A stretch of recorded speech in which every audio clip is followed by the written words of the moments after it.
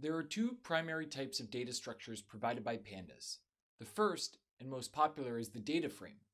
The second is the series. Picture a data frame as merely an Excel worksheet or SQL table. It is made up of rows and columns, and each cell within those rows and columns has a value, be it a number or a string. The part that makes it extra special is that every value holds a unique index too. The columns will typically have names and the rows will typically have the indexes we just mentioned. A series is basically a single column of a data frame, which is a one-dimensional labeled array. We can create them from data frames by selecting the column we want as a series, or we can create them from a Python list. We'll learn more about series after first exploring the data frame in depth.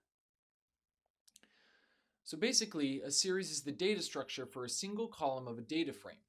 What's interesting is that the data in a data frame is literally stored in the memory as a collection of series. So again, a data frame is basically a collection of series, which are really just rows in a single column, that combine together to make a data frame, which ends up looking like a table with rows and columns names. A pandas data frame can be created using various inputs like lists, dictionaries, series, NumPy arrays, or another data frame. We can also create data frames by reading in files such as CSV, Excel, or even SQL queries. In our instance, we will primarily create data frames by configured CSV files.